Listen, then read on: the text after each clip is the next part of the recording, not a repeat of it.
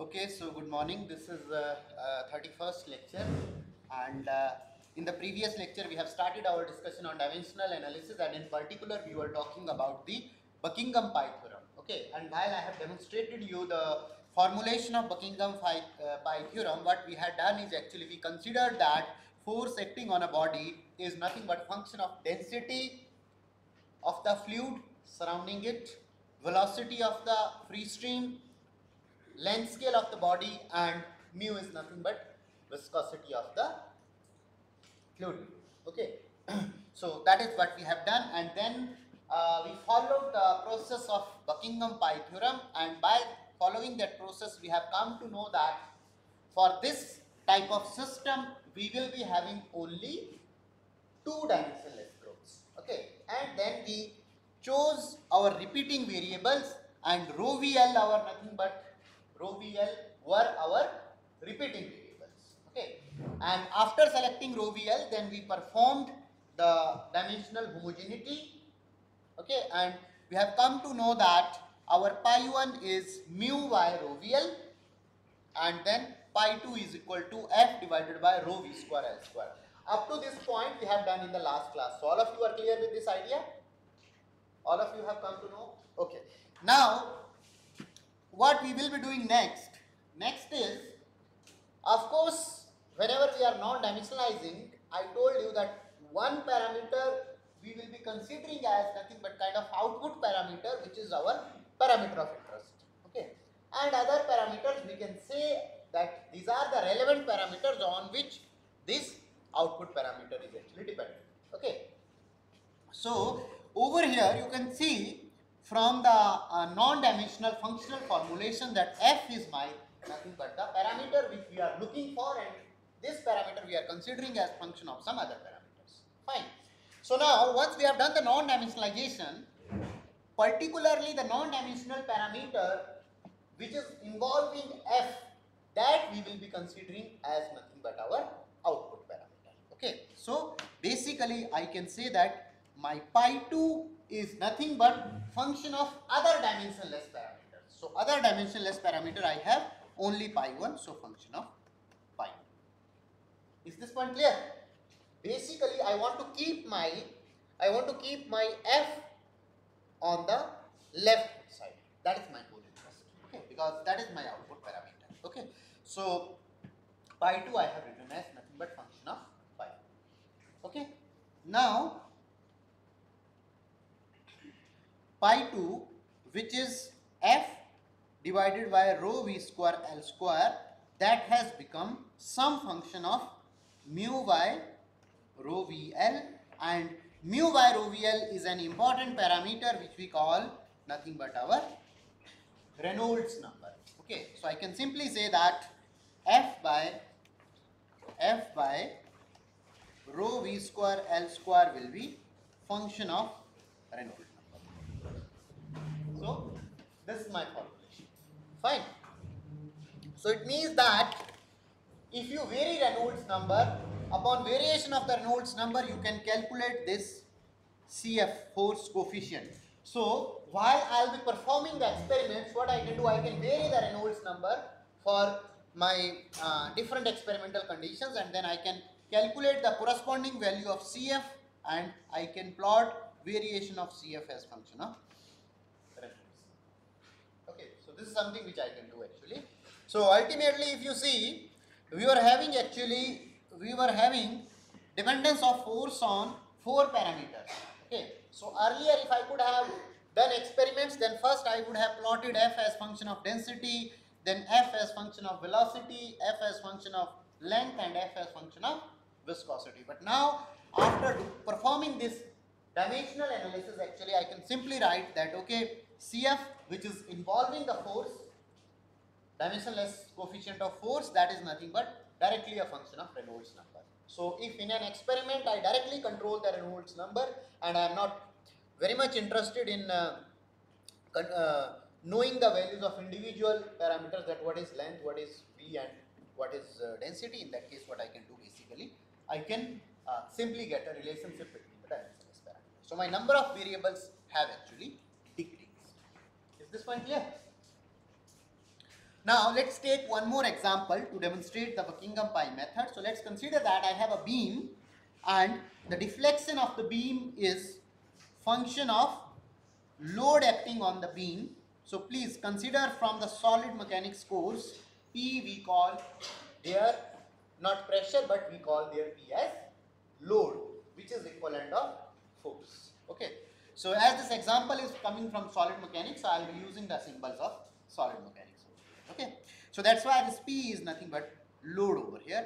L is length of the beam and E is modulus of elasticity okay and I is moment of area second moment of area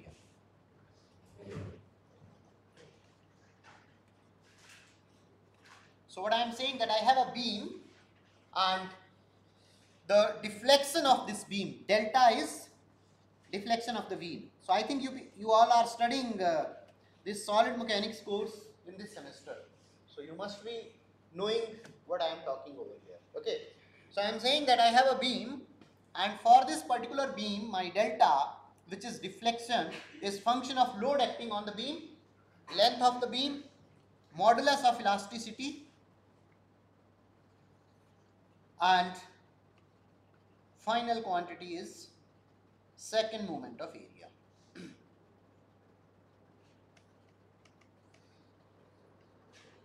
okay. Now, what we will be doing? Please tell me. We are once again going for the Buckingham pi method. So, what we have to do over here? We have to write what we have to do Please tell me what we have to do.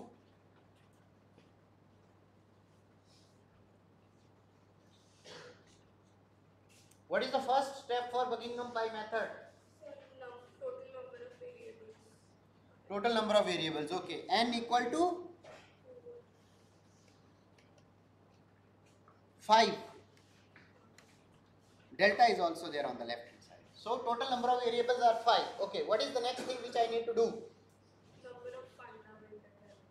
How to find out number of fundamental dimensions? Okay, so what will be fundamental dimension of delta?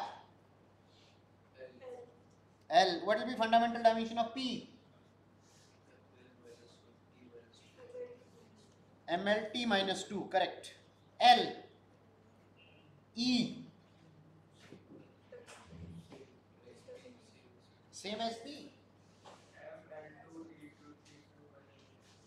M L2 y L2 acceleration is LT minus 2 okay. Then MLT minus 2 upon L or L square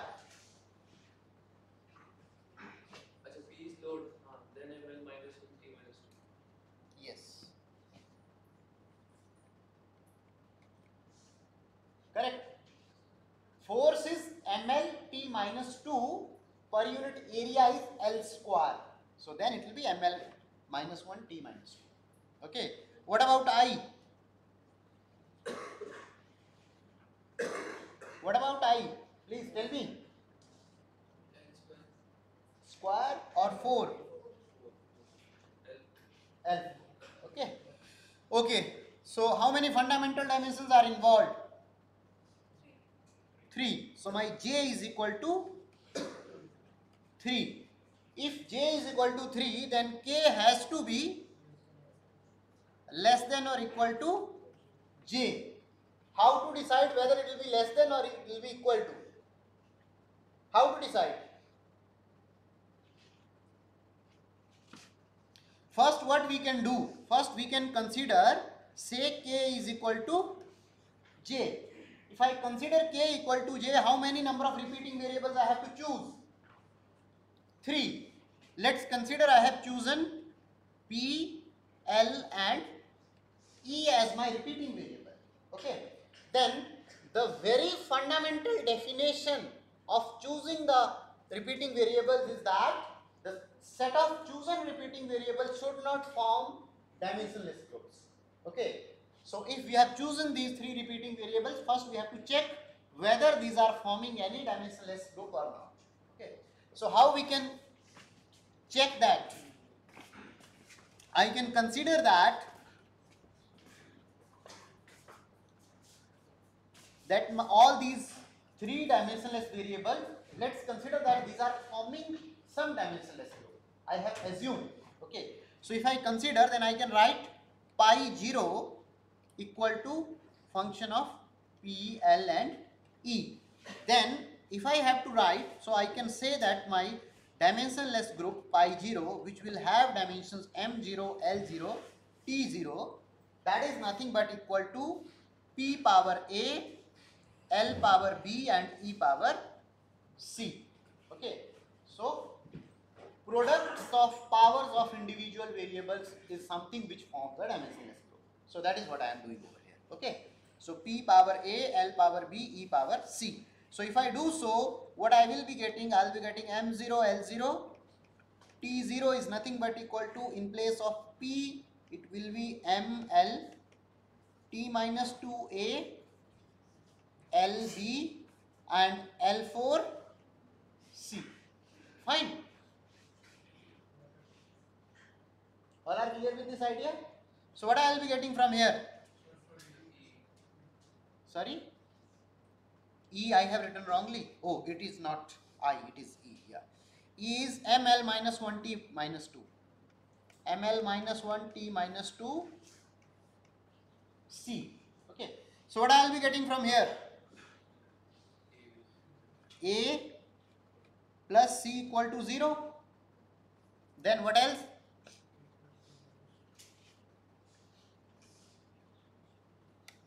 A plus B minus C equal to 0. And what about third thing? Minus 2A minus 2C equal to 0 which implies A plus C equal to 0. So first and third has become equal. So simply I can say that A is nothing but equal to minus of C. Okay. So if A is minus of C, then I can write this as minus C plus B minus C equal to 0 and from here I will get B nothing but equal to 2C. Okay. Now, if I consider that say C is any arbitrary value 1. So, if C is 1 then what will be A and B 2. So it means if I put these powers, these values of ABC, then my set of repeating variables will form nothing but a dimensionless group. So my pi 0 will become, pi 0 will become, what was A? P power A. So P minus 1, L 2 and third is E 1. Okay. So in this situation, what is happening? All the repeating variables can only form a dimensionless group when values of A, B and C are equal to 0. If values of A, B, C is other than 0 and then also the set of chosen repeating variables are forming a dimensionless group, it means that now our k has to be less than 3 okay because the criteria for selecting the repeating variables is that the set of repeating variables should not form any dimensionless groups. But we have found over here in this situation if I consider my k equal to means number of repeating variables equal to the number of fundamental dimensions then what is happening? Then I am finding that my set of chosen repeating variables are forming a dimensionless groups for values of ABC other than 0. So it means what if we take a different set of three variables? then also it will form. You can try. Okay, so one case just I have shown you. You can try one more set because that is the fundamental idea of Buckingham Pi method that whatever the set of repeating variables we are choosing these should not form the dimensionless group, but when when we are adding one additional variable to the number of repeating variables, then it should form a group. So that is what when we write pi 1, then we write first powers of repeating variables and their product, and then we add product of one more variable, and then it forms a dimensionless group. Okay. So if repeating variables are themselves forming a themselves forming a dimensionless group, then this does not satisfy the fundamental idea of Buckingham pi method. Okay, because as per the Buckingham pi method, the repeating variable should be so chosen that only the addition of one variable can form a dimensionless group. Okay, so in this scenario, what we are finding, we are finding that our group of uh, when we have selected the three repeating variables which are equal to the number of fundamental dimensions, then these three variables are forming a dimensionless group themselves. If these are forming themselves, then it means it does not satisfy the fundamental criteria of method. Okay, is this point clear? So now what we have to do? Of course, I will be choosing the value of k. I have to choose value of k less than j. Okay, so let me choose now k equal to 2, which is less than 3 because j is equal to 3. Fine. If you choose other three set of parameters, there also you will be finding it is forming a dimensionless group. We can be confident because the fundamental idea of the method is whenever repeating variables are coupled with one additional variable, then only they should form. Okay, so if repeating variables themselves are forming, then of course, whatever the next three set you will be choosing, whenever you will be coupling that with these set of parameters, then it will not form dimensionless. Okay, yes. You can give a try. I have just shown you one case. You can give a try by your own. Here also you will be finding that that will also form some dimensionless. So this will always be true. That uh, if a set of three parameters is uh, dimensionless for some value of ABC. So for every kind of problem, this will be true. Like all the set of three parameters. Yes, yes, yes. And other way of checking this is that in place of using the MLT fundamental dimension, you can also choose other method. One is MLT. Second approach is you can choose fundamental dimensions as FLT, where F is nothing but force.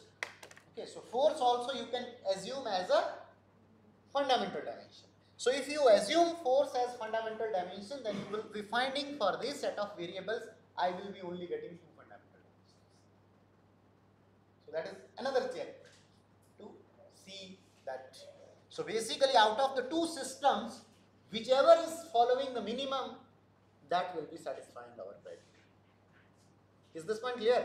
Though FLT system I have not demonstrated over here, but if in place of mass you consider your force as the fundamental dimension and if now you try to write your all the fundamental dimensions for each parameter in terms of FLT for this problem, you will be finding you will be having only existence of two fundamental dimensions because your time and mass will be coupled together to form a single force quantity and only L will be coming in numerator. Okay. Is this point clear? So that is the reason that if you write it in FLT system, you will be only having force and length as the F and L as the two fundamental dimensions. Point is clear?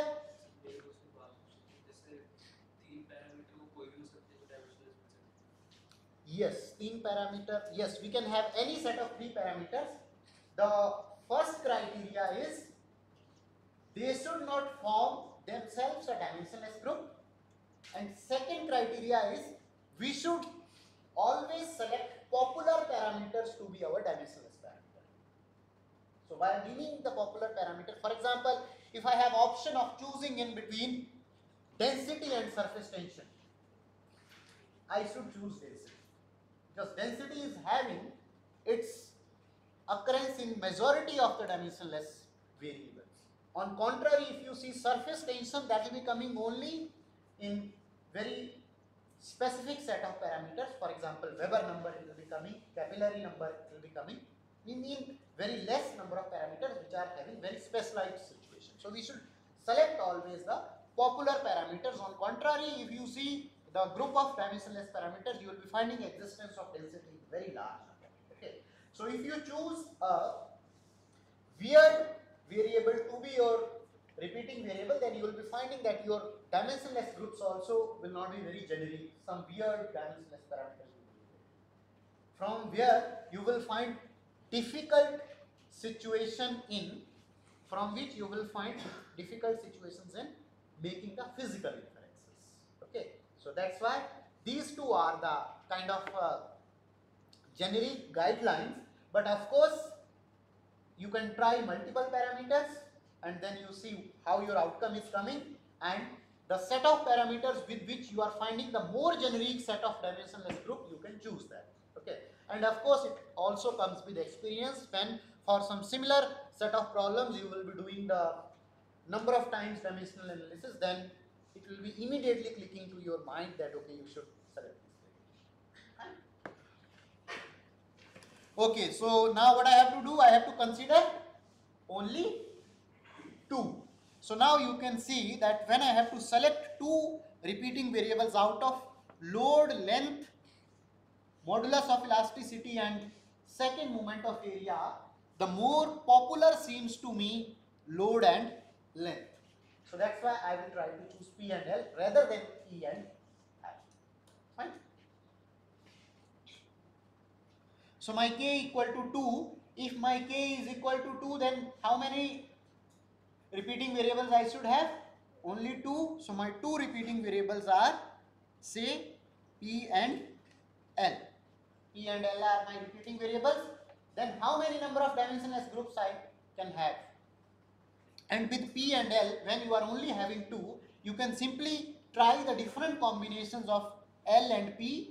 You will be finding that in load you are not having sorry in length you have only single parameter whereas in load you have mass as well as time also. So any combination of p and l you choose you cannot cancel out the mass component and the time component. So that's why these two are not forming any dimensionless is this one clear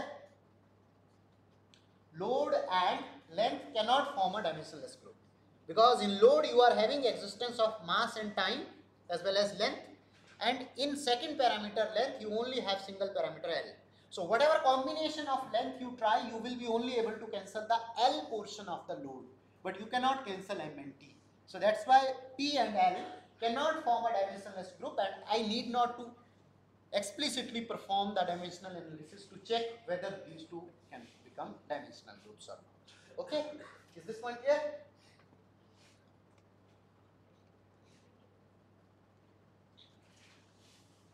Okay, so now what we have to do? How many number of dimensionless groups we will be having? n minus k, 5 minus 2. So I will be having 3 dimensionless groups. Okay, so let me consider my first dimensionless group pi 1 is nothing but equal to p times a, l times b and then I have to choose any one additional variable. Say my additional variable is delta. Is this one clear? So now what I will be getting? M0, L0, T0 equal to, please tell me.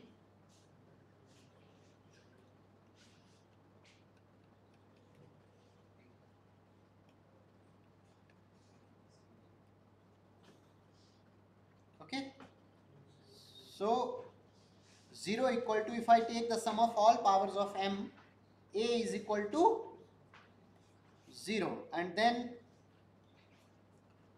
for length it will be a plus b plus 1. So from here b will be equal to minus 1 and from time what I will be getting? So AB we have calculated. So now my pi 1 will be delta into p power 0, p has gone L power minus 1. So first dimensionless group is delta by L. Fine. Then what about second dimensionless group? MLT minus 2 ALB. So these will remain same. So if you want to differentiate then you can write for first dimensionless group as A1 B1 okay if you should not get confused here you can select A2 B2 now we have to choose the third parameter with this. So what was the third parameter? Let's consider E. Fine. Let's consider over here E so if I consider E then it will be becoming ML0 T0 MLT minus 2 power A2 L B2 and in place of E I will be having L ML minus 1 T minus 2 okay? So now tell me what I will be getting the values of ABC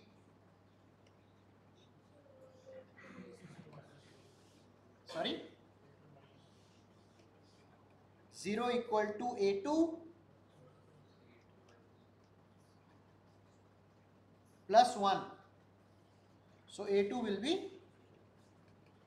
minus 1 and if I consider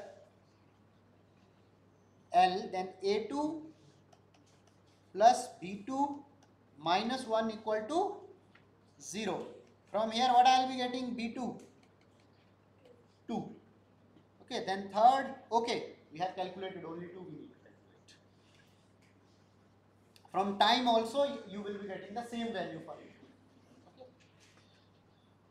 So it means that my pi 2 is nothing but e times a2 what was a2 p. P power minus 1 so e by p and b power 2 so el square by fine that is my second dimensionless group all are clear with this idea now we have to consider the third dimensionless group pi 3 equal to what P A3 L B3 times I. Okay. So from here, what I will be getting? M0 L0 T0 equal to MLT minus 2 A3 L B3 and L4. So from here, if you calculate, then A3 will be equal to 0 a3 plus b3 plus 4 will be equal to 0 which means that b3 equal to minus 4 and out of this what I will be getting that pi 3 is equal to i into p power 0 l power minus 4 so i by l power 4 fine so it means that now whenever I have to write the functional form between dimensionless groups, how I can write? On the left hand side always I have to consider the group which is my parameter of interest. My parameter of interest is deflection. Deflection is coming in pi 1. So I can write that pi 1 is nothing but function of pi 2 and pi 3. So from here I will be getting that delta by L is a function of EL square by P comma I by L4. Now you can, if you have already studied the deflection over beams, okay, you will be able to relate that majority of your fundamental formulas which you are getting there for the deflection, these will be having involvement of these two dimensional. Okay. You can verify this from your textbooks of solid mechanics also. You will be finding majority of the formulas of deflection will be having these two parameters. With same relationship of powers. So that is the benefit of dimensional analysis. You are having five, now only you need to vary these two and then you, you can establish their effect on delta L. Fine. Is this one clear? Anyone is having any issue? So Buckingham pi method is clear to all. Apart from this, one more method is there, Ipsen's method.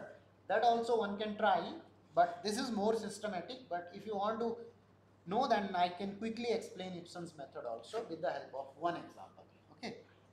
So as per Ipsen's method,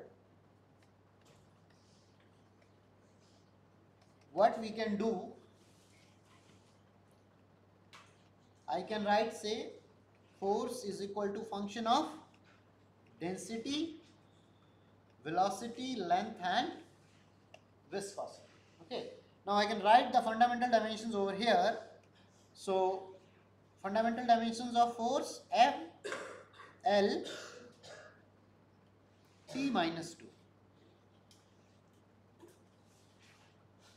ml minus 3, lt minus 1, l. What will be dimension of mu? Please tell me. I have shown you in the last class.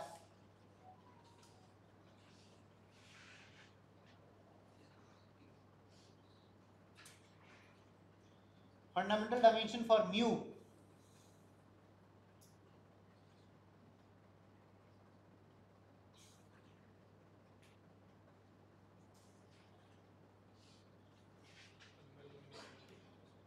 m l minus 1 t minus 1. Is it correct?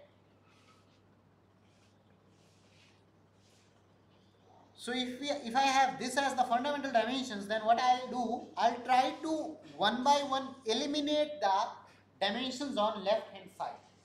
And while I'm eliminating dimension on left hand side, if in any other parameter also that quantity is involved, I will actually divide that particular parameter also with the fundamental dimension. Okay. First, let's consider that I want to eliminate m in left hand side. So if I want to eliminate m in left hand side, I have two options. Either I can divide this dimension of ml minus 3 on the left hand side or I can divide this dimension. So out of these, let me choose a popular one. So popular one, I will choose this density. Okay. So what I will do, I will divide this side by density. So I, I will get new parameter as f by rho and if I am dividing with dimensions of density then what I will be getting over here? Can you tell me? Fundamental dimension will be L power 4 and T minus 2 and of course this rho will become dimensionless. So rho has become dimensionless. So it means it has kind of gone out of this dimensional system. LT minus 1 was not having any involvement of mass. So of course here I will not divide with rho. So this parameter is remaining as it is V with dimension LT minus 1. Then once again L is also remaining as it is with dimension L. Then here when I will be dividing this because my interest is to cancel M. In order to cancel M I have to keep power of density 1 only. So M and M will cancel out and it will become L minus 2T minus 1. Is this one clear? Up to this point is it clear? Now let me consider that in this new system I have now L4T minus 2. Let's consider my interest is to eliminate, now my interest is to eliminate this power of T. L power plus 2. Yes, it was minus 3, so it will be plus 2. Yes, correct. Now, what is my interest? This is my main output parameter. So, in this parameter, I am having presence of t power minus 2. So, I want to eliminate this t power minus 2. So, what I will do, I can have, I am having this value of t minus 1 in parameter velocity. Okay. So, if I have to remove this t minus 2, then of course I have to divide this left hand side by nothing but velocity square. So if I divide with velocity square, I will be getting parameter as f by rho v square and what will be fundamental dimension? Velocity square will become L square t minus 2 in the denominator. So that will give me only single dimension left Density was already gone. Now whenever I am dividing with velocity, so velocity is also gone. L has remained as it is, a left parameter. Now in this last term mu, sorry, now this is not mu because mu already I divided in the previous step by density. So this is now mu by. Okay. So in this last parameter, mu by rho, you can see now we have dimension of t minus 1 and velocity is also having scale t minus 1. So if my interest is to cancel t minus 1, I can simply divide this parameter mu by rho with velocity. Okay. So if I divide with velocity t minus 1 minus 1 will cancel and I will be left with only dimension of L and new parameter will become mu by rho v. Is this one clear? My new parameter is mu by rho v. Now what I can do, I have only dimension of left over here L. So this is the parameter which is containing dimension L. I can divide with this now. So if I divide with this, I have to cancel L square. So of course I need to divide with L square in the left hand side. So I will be getting F by rho V square L square. These two are already gone. If I do L by L, then this is also gone. And here also I am having L only. So I need to divide with L. So if I divide with L, I will be getting new parameter as mu by. So by Ipsen's method also, we are able to get that f by rho v square L square is nothing but function of Reynolds number. All are clear with this idea? Is this one clear? So now what you can do, you can take your uh, this uh, homework exercise and you can try the second example which I discussed delta deflection of beam. You can try that example by Ipsen's method. So you can consider this as your homework assignment. Though you have not done anything in the last one week. Any one of you have studied something?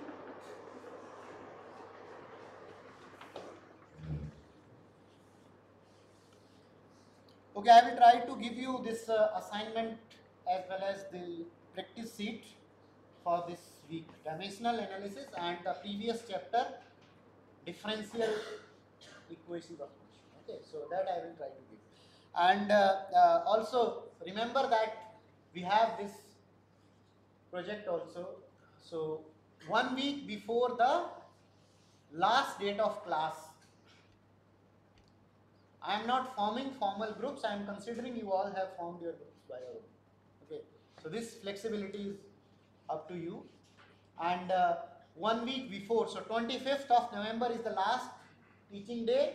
So means by 18th of November we will have your presentations. Okay.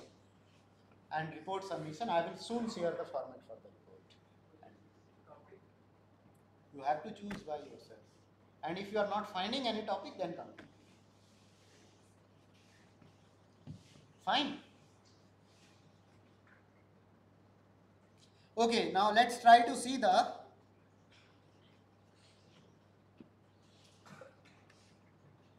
fundamental idea of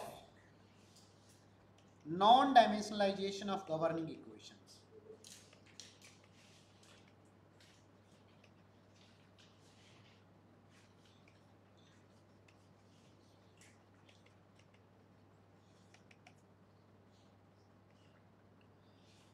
So what we have done till now, we have actually selected some group of variables and then we have followed certain procedure to get actually the set of non-dimensional parameters. So whatever the set of dimensionless parameters we have obtained, we can also get the similar set of dimensionless parameter if we non-dimensionalize our fundamental governing equations. Okay. For example, the fundamental governing equations for fluid flow analysis are nothing but the continuity equation and momentum equations. Okay. So if I write continuity and momentum equations for incompressible flow, then I will be getting my continuity equation as del u by del x plus del v by del y plus del w by del z is equal to 0. Okay. And my x momentum equation for incompressible flow will be rho into u times del u by del x plus v times del v by sorry del u by del y plus w times del u by del z equal to minus del p by del x plus mu times please tell me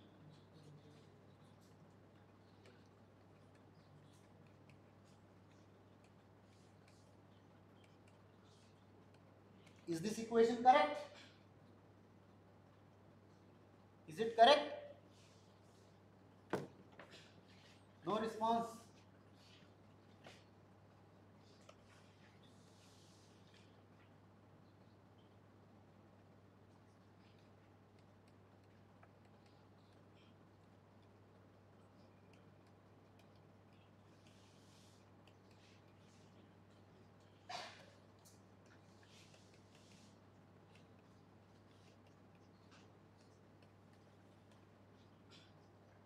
Is it correct? If I am writing anything wrong, then please correct me.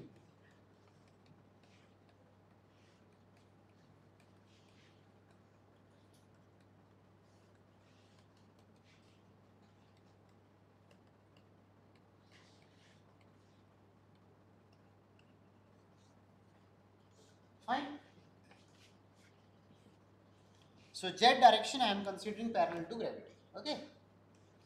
So now these are my fundamental equations. If I consider that I have some reference velocity u. u is some my reference velocity within the flow field. Okay. And if I consider some reference length scale L reference equal to L, then what I can do all my spatial parameters I can non-dimensionalize with reference to L and all my parameters which are involving velocity field these I can non-dimensionalize with reference velocity u. And after doing this non-dimensionalization I can substitute back these dimension, dimensional parameters in my governing equations and I can get set of dimensional equations. Okay. How let me show you if I consider that x star is my dimensionless length which is nothing but equal to x by L. Similarly y star is dimensionless length which is y by L and z star is dimensionless length which is z by L. Fine.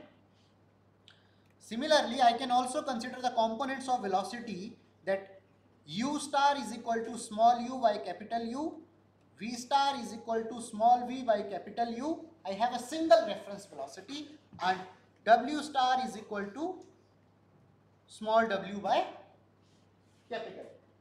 Fine. So what I will be getting out of this? Out of this I will be getting x equal to x star into L, y equal to y star into L and z equal to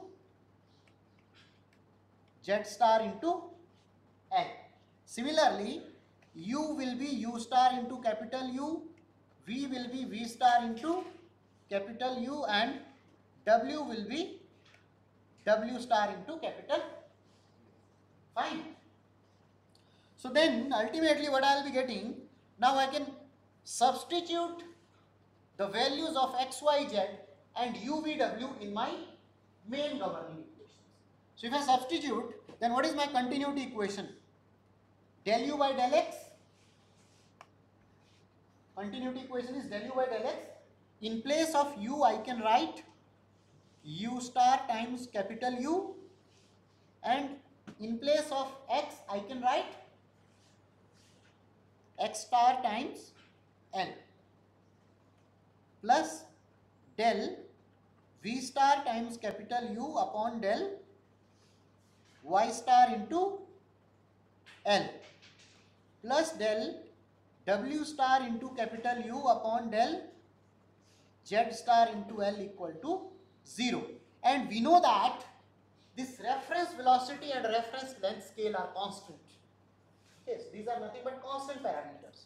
So what I can do, I can take out this common. So u by L will become del u star by del x star plus del v star by del y star plus del w star by del z star equal to 0. And if I take u by L to the right hand side, my equation will become del dot v star equal to 0 where v star is nothing but u star i cap plus v star j cap plus w star k cap. So complete continuity equation is now has transformed into nothing but dimensionless form.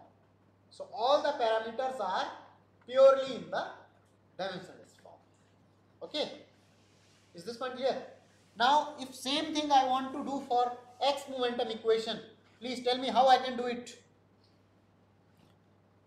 In x momentum equation, I have rho on the left hand side, and then I have u times del u by del x. u means u star into capital U, and in place of del u by del x, I can simply write u by L times del u star by del x star. Is this one clear? Plus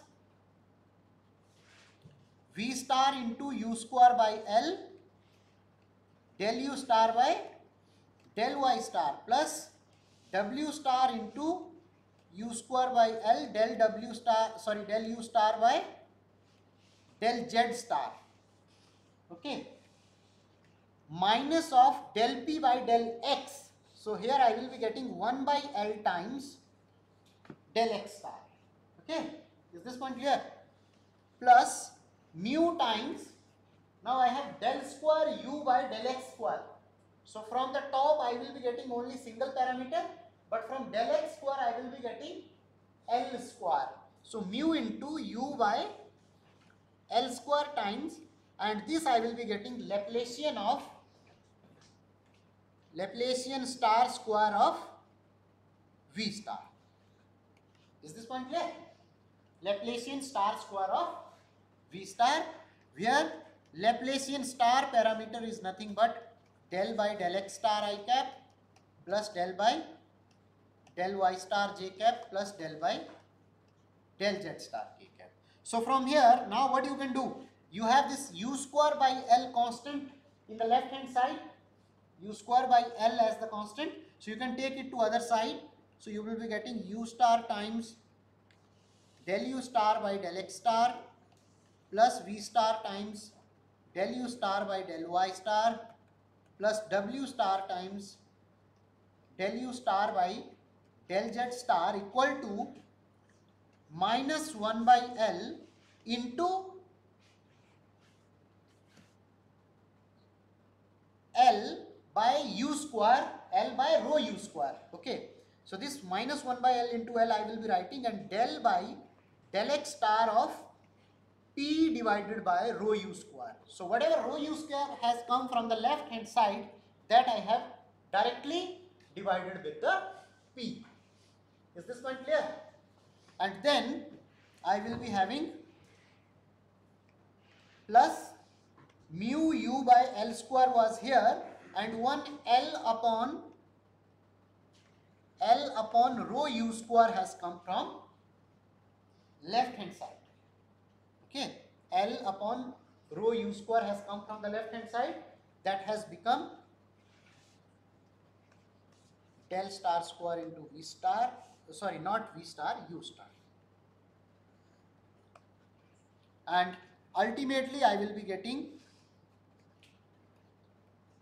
u star into del u star by del x star plus v star into del u star by del y star plus w star into del u star by del z star equal to minus of del p star by del x star where P star is nothing but equal to P by rho u square. Rho u square is having dimensions equal to that of pressure. So dimensionless pressure has become P by rho u square and plus this L, L will cancel, U, U will cancel. So it has become mu divided by rho u L times del star square into u star, not mu, So this has become nothing but dimensionless, dimensionless form of x momentum equation. So in this x momentum equa- equation you can see we have got three dimensionless parameters. P by rho u square is called as Euler number. This dimensionless parameter is called as Euler number and mu by rho VL is called as Reynolds number. Okay. In y momentum equation also I will be having the same set of parameters but whenever I will be going to z momentum equation then I am having one additional term involving g. So when that g will be coming into picture then I will be getting one more additional dimensionless parameter. Okay. So the idea over here is to show you that I will continue this further in the next class but the idea to show you is that whatever we are doing from dimensional analysis same can also be driven from the fundamental governing equations if we choose correct set of length and time scales. Is this point clear? And whatever these final equations we are getting, these have become nothing but purely in the dimensionless form.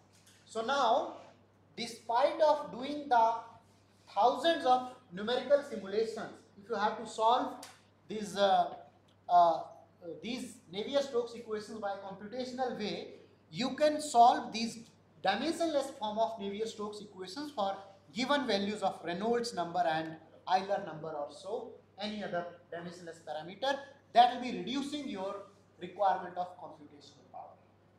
Fine.